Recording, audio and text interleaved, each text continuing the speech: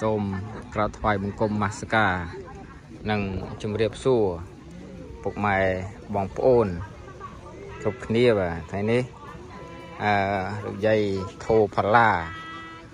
គាត់បាននិមន្តប្រសង់តាមបណ្ដាវត្តណានីមួយទៅមួយក្នុងស្រុកកលែនណាដាច់សយ៉ាលខ្លាំងខ្លាំងមន្តប្រសង់ដើម្បីមកទទួលទេន ចំណាំព្រះប្រសានៅបរិវេណនៃប្រាសាទ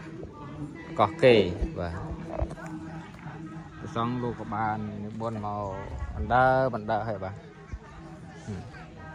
នេះតាយើងគឺថាម្ចាស់សទ្ធានៅខាងភ្នំពេញទេតែមិនទាន់មកដល់បាទដូច្នេះហើយអឺមានប្រសង់ប្រមាណចំនួនប៉ុណ្ណេះ លោកមកទទួលទេយទានអំពីម្ចាស់សទ្ធានៅទីនេះ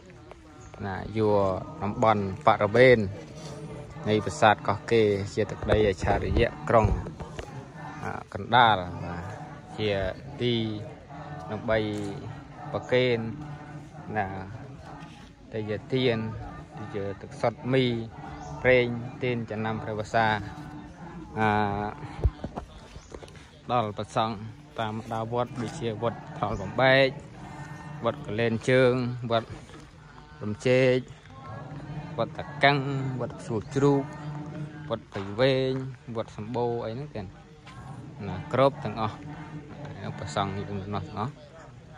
អានេះគឺគង់តែសមាទានសិលបាទគង់តែសមាទានសិល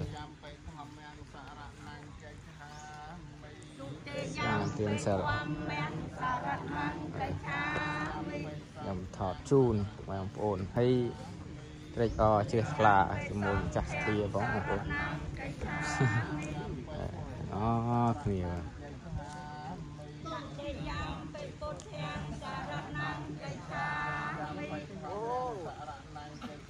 ចឹងសូមក្រាបថ្វាយគុំជម្រាបលា